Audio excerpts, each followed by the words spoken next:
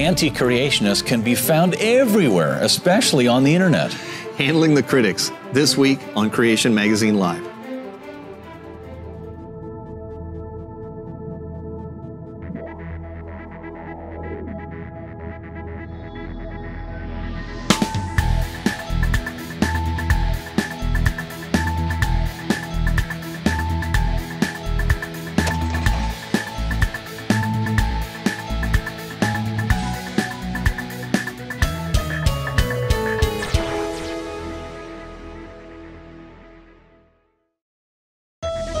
Creation Magazine Live. My name is Richard Fangrad. And I'm Calvin Smith. Our topic this week is handling the critics. How do we handle critics? Well, Christians are being persecuted more and more throughout the Western world as secular humanism continues to grow. That's true. But nowhere is criticism and, and ridicule poured out more than upon biblical creationists, that Yep. those are the people that take the Bible as plainly written. Uh, so much so that some of the most negative comments come from Christians.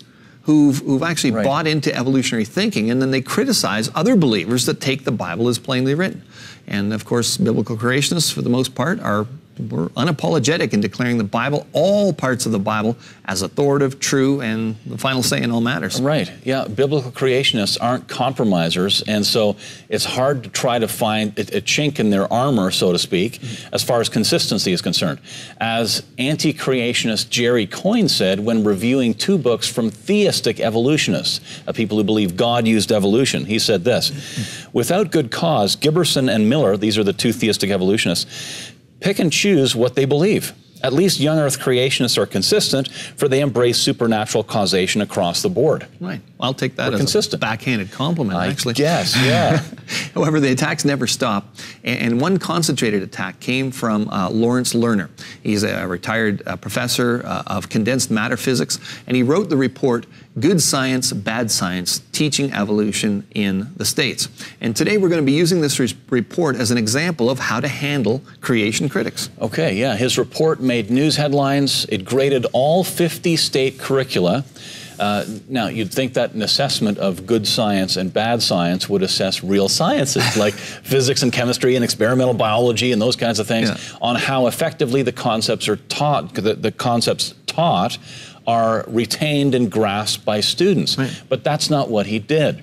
His evaluation of science teaching was based solely on how favorably each state curriculum deals with biological evolution. Right. Yeah. Interesting. he- he's judging it on history, not science. But Right. anyway, anyway, ten uh, states scored A, uh, meaning in Lerner's opinion, treatment of evolution is very good or excellent. Okay. And uh, of course, the the, the grades. Um, drop as evolution is treated less dogmatically. Uh, while one state, Kansas, received an F for allegedly uh, removing all references to biological oh, evolution. Oh dear, yeah. Lerner's report contained a lot of rhetoric and logical fallacies and little real science, the kind of science that leads to technological advancements that develop smartphones and cure diseases and that, that, that type of thing. Yeah, well, as is typical with most uh, creation critics, uh, Yes. L- Lerner's report commits the fallacy of equivocation. And this is something every biblical uh, creationist needs to recognize in order to be able to handle critics. Um, equivocation is, is switching the meaning of, of the word, in, in this case, evolution, the word evolution, uh, partway through an argument. A common tactic is, Right. is simply to produce examples of change over time. You call that evolution, and then imply that the general theory of evolution is therefore proven and creation is disproven, etc. Right. The main scientific objection to evolution is not that changes occur through time, uh, and it's not about the size of the change. So, so we would discourage the use of terms like micro and macro evolution because it can introduce confusion there. The key issue is the type of change. To change microbes in, into men, for example, requires that increase to the genetic information content takes place over you know millions of years, from half a million DNA letters from, from even the simplest rep- self-reproducing organism that could be called life Right. to more than uh, about three billion letters stored in each human uh, cell. Right. in- How'd you get all the new there. information? Yeah. Yeah. How does that come about? Nothing in Lerner's paper or, or anywhere else provides a single example of functional new information being added to the DNA. Right. Lerner's paper alludes to several points as evidence for evolution. However, many of them are simply examples of change over time, so these aren't disputed by creationists. Right. Uh, but the implication throughout is that without evolution, it would be impossible to understand that um, all living things reproduce, offspring are similar uh, to, but not exactly like their parents. Offspring have to grow up or change and metamorphosis, uh, etc., before reproducing themselves there is a fit between individuals or species and their environment. Um, natural selection determines the different uh, differential survival of groups of organisms. So here, here's all these points he's making that he says evolution has to be true in order for us to be able to understand these things. Right. Yeah. But Bible believing scientists, creationists, agree with all of those things. exactly. But observing the reality of these concepts doesn't depend on evolution. That's right. So uh, to claim that because there is change proves information increasing change can occur is like saying that because a merchant sells goods, yeah. he can sell them for a profit. Right. The, the two are related, but just because the former happens doesn't mean the latter will. The origin of information is a major problem for evolution. Yeah, and equivocation, uh, it has to be exposed for what it is. These, these uh, bait and switch tactics by evolutionists are, you know, once they're exposed, most of their scientific case for the general theory of evolution collapses. And we'll be back.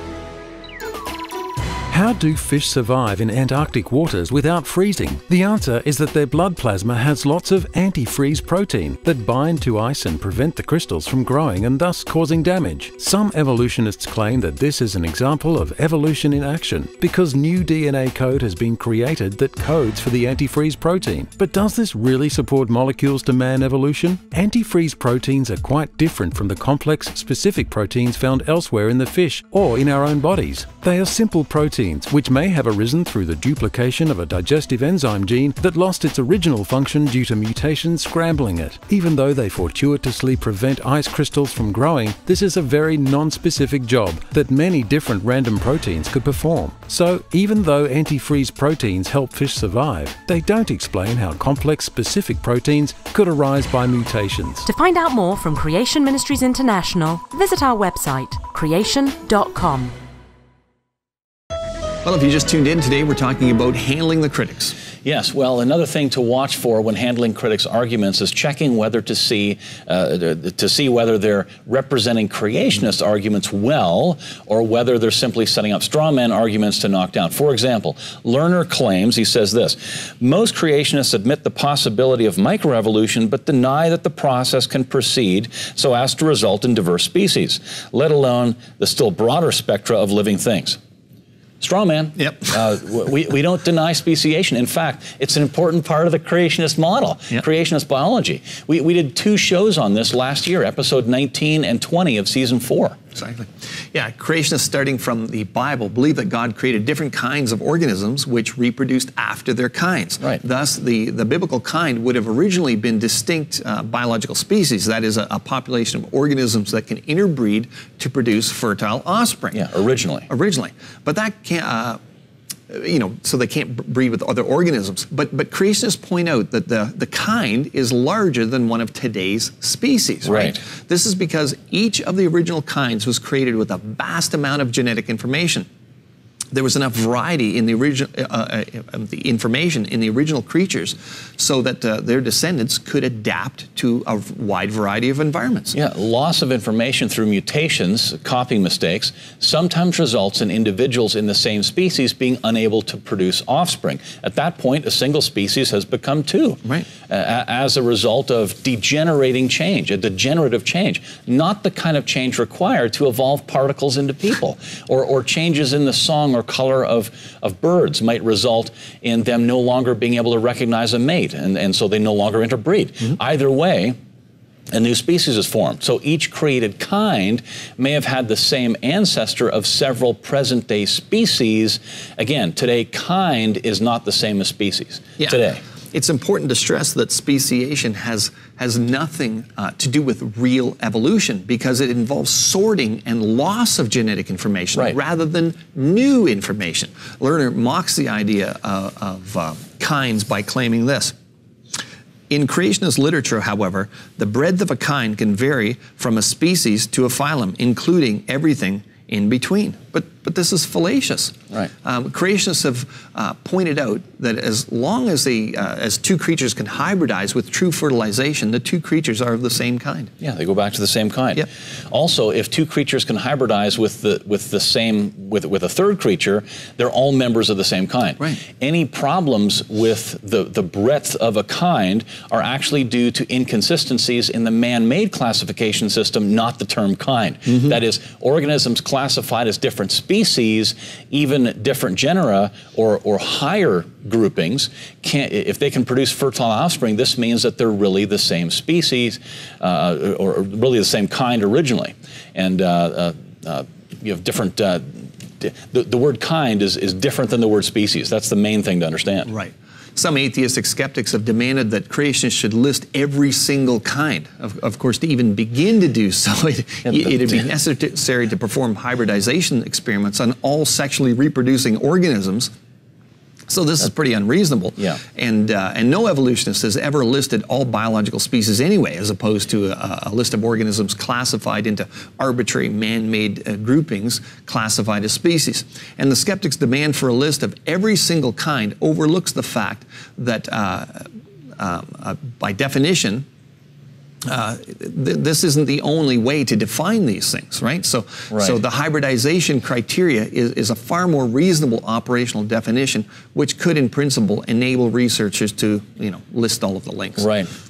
Lerner also mocked much yeah, the, the same way as the compromising apologist Hugh Ross does. Mm. He said this In order to avoid overcrowding Noah's Ark, some creationists adhere to the biblical term kinds rather than species as the limiting barrier to evolution. Yeah. Yeah. Well, the, the creationist concept of kind has nothing to do with trying to fit things on the ark, but based on sound biblical exegesis and the concept of hybridization. In reality, the converse is true. Skeptics hate the creationist analysis of kinds, partly because it neutralizes skeptical attacks on the ark that try to pack in the you know the millions of species they're, they're always talking Yes. about, including many which are marine, invertebrate, or, or, or plant anyway.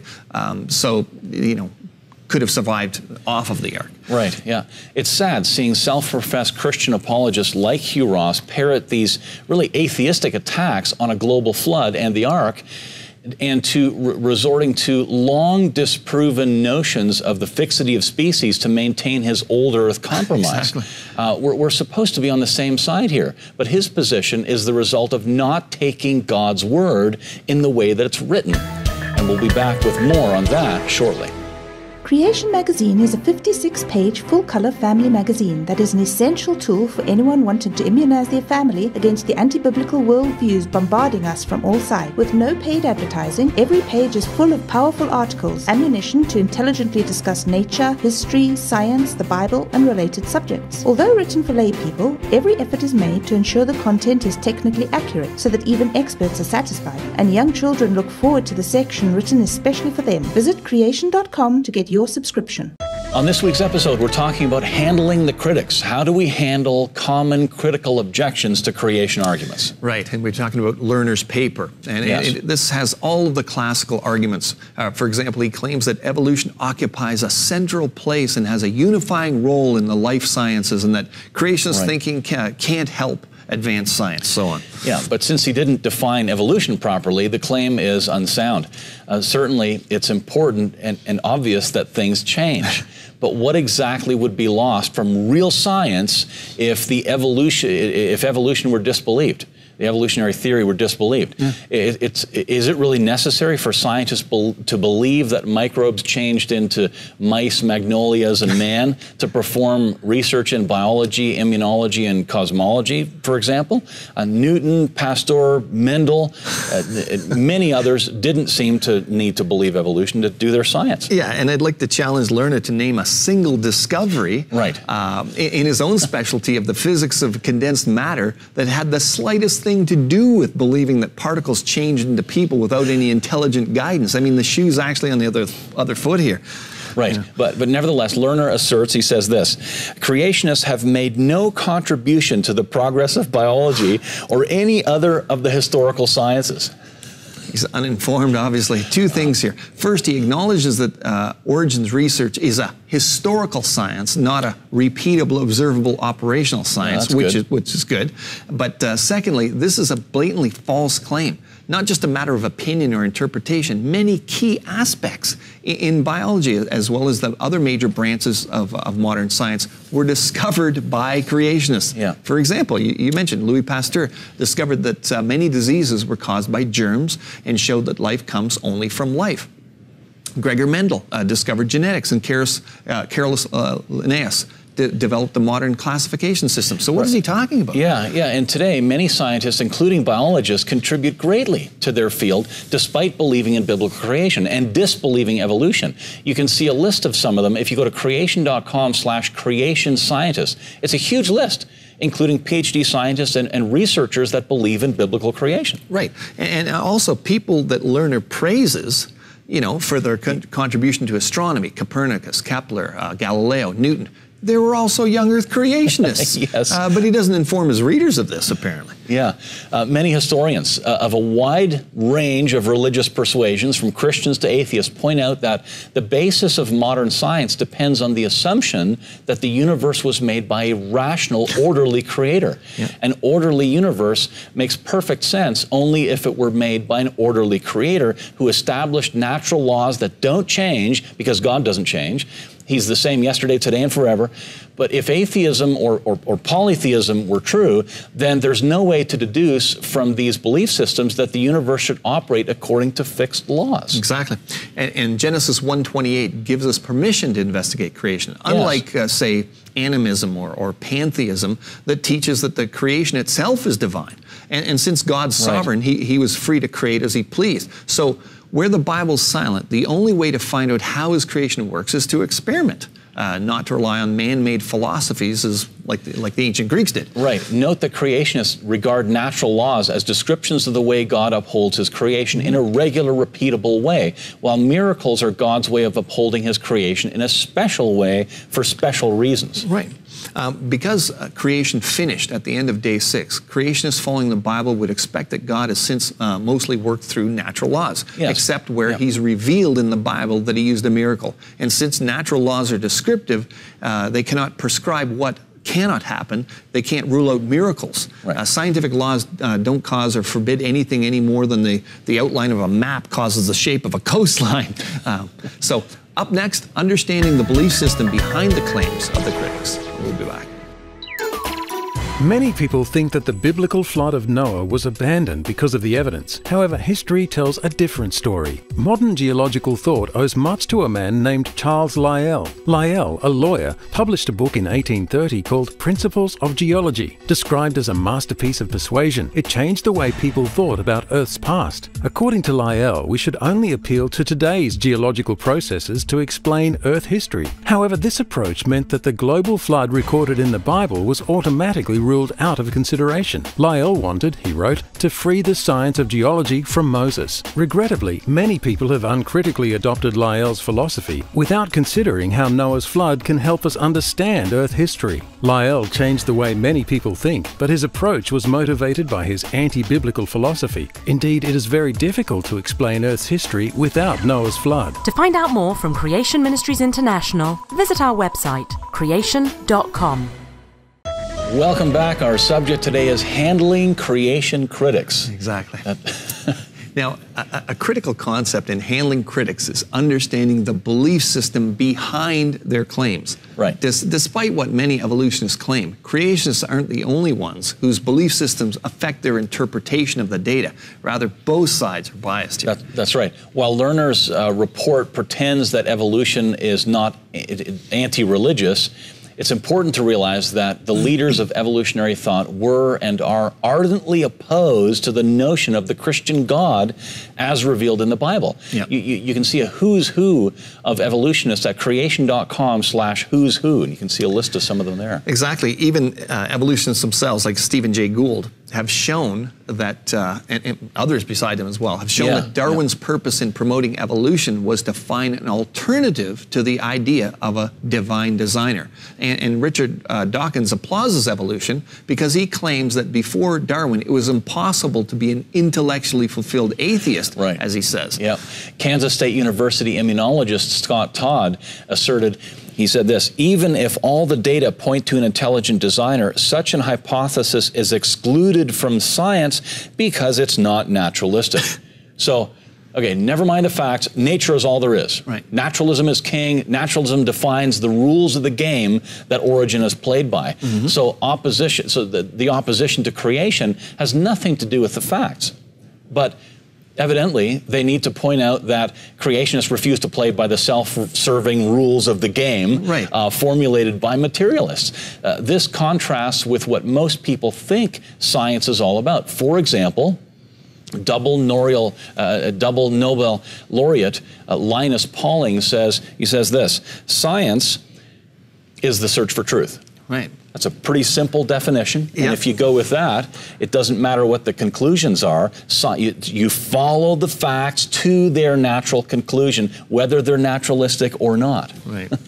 So, how do uh, Lerner and others uh, try to get around the charge that evolution is really pushing uh, the, the religion of humanism? After all, uh, the first two tenets of the Humanist Manifesto 2 from 1973, signed by many prominent evolutionists, are this one, religious humanists regard the universe as self existing and not created. Humanism believes that man is part of nature and has emerged as a result of a continuous process. Now, the current version, Humanist Manifesto 2000, was signed by the prominent evolutionary propagandist Richard Dawkins, E.O. Wilson, Yeah. uh, Richard Leakey, uh, Moylan Matsuma, and uh, Daniel Dennett. Well, they, they try to make it sound like creation is a faith uh, system and, and, and evolution is science, but that isn't the case. Right. Lerner himself is a member of the Bay Area Skeptics. Uh, like all skeptical groups, it's essentially atheistic and anti-Christian. Uh, but the Bay Area Skeptics downplays this claim, saying that uh, they say this. "We- We're absolutely not a religious or anti religious group. We respect the religions and non religious beliefs of others and recognize that spirituality is based on faith and is not testable.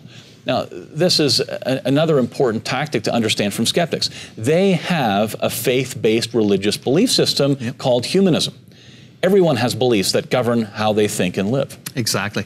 So, what, what's interesting here is to see how many Christians get sucked into this kind of thinking. Yeah, So, a lot hey, of them. Yeah, science is all about naturalism, and it's what we can discover. Uh, you know, that they've defined science that way. Yes. And then Christians go, "Oh, okay." But they, they they don't even realize that they're just cut off their own legs. If you're saying everything happened, everything we can investigate, touch, feel, smell, real science, all hap- happens through naturalistic terms. You cannot invoke a designer. You cannot do that. Yes. You're, you're Yeah. actually cutting your own legs off. If scientific investigation ends up pointing to a conclusion that is supernatural, they have to censor that out and, and say, well, no, no, we got to steer that in the direction of naturalism because oh, we can't we can't go with we can't go with something that's supernatural. It's a it- it's a self censoring that goes on there. Yeah. amazing. But you know, these these guys are willing to say that if we walk into a cave and we find like a, a you know an arrowhead and we find some paintings on walls, well, we can conclude that you know hominid-like creatures once lived here and they intelligently did these things. Sure. we can recognize a design and intelligence. Yeah. But as long as it so so a a, a human creator could have created that. Right. But as soon as you take it one step beyond and somebody creates the human, Not oh, no, no, no, no, no, no, no, no. Yeah. That's when you put the pull the brakes on here. So, um, there's a great book that we we, we carry actually, uh, Christianity for Skeptics. It's it's called. Yes. And you can uh, check out that book on our website. Give you some more answers to handle skeptics. We'll be back.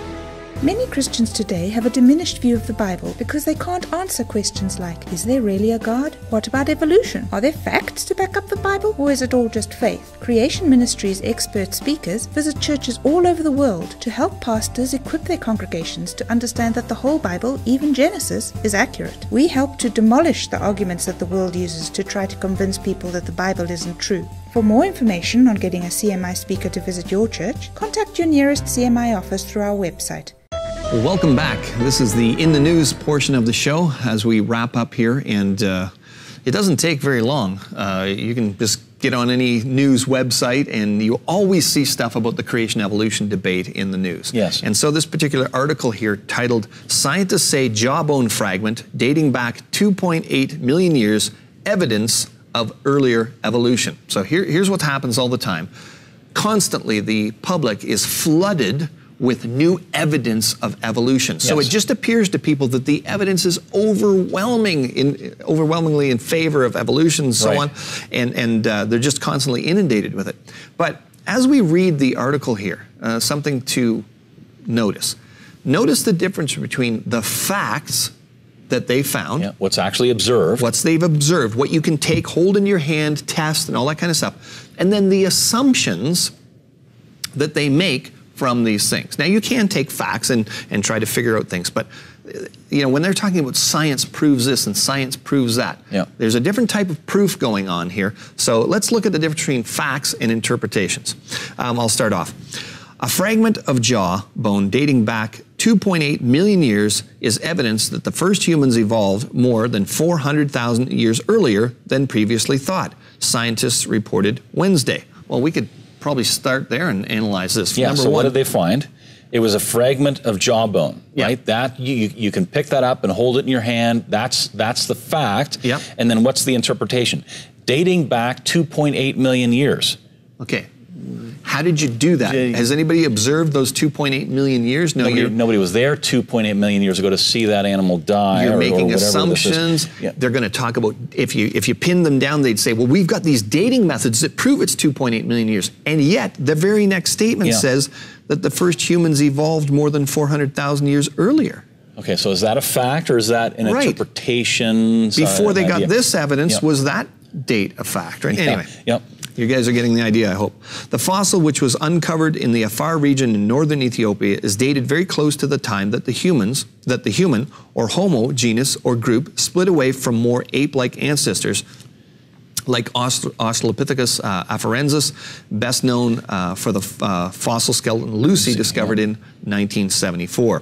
Africa is a hotbed for human ancestor fossils, and scientists from Arizona State University have worked for years at the Ethiopia site trying to find fossils from the dimly understood period when the Homo genus arose. Um, and our species, Homo, uh, Homo sapiens, is the only surviving member of the group. Okay, so there's been a lot of storytelling there, not a whole lot of facts. The, the jawbone, the human jawbone, was listed first there. Yep. Uh, then it continues the jaw fragment, which includes five teeth, was discovered. That's a fact, right? Yep, yep, Okay, we five see teeth. that, you yep. can see the teeth there. Was discovered in pieces one morning, Jan- January 2013, by this fella here. I can't pronounce. I'm not even going to try. Uh, an Ethiopian graduate student at Arizona State. He said he uh, spotted the tooth poking out of the ground while looking for fossils. Yep. Okay, so there's some facts there. The guy ran along, th- saw the thing, and Yep. okay, there it is. Uh, had five teeth, and And as you read the, the, uh, the article, and we could continue on here, but th- this would be a good exercise for people to do. Yeah. Do themselves. Yep. Look it up. Look at what they found and, and look at what the, the interpretations are. Next week, tree dating. Uh, does it disprove the biblical time scale? Next week.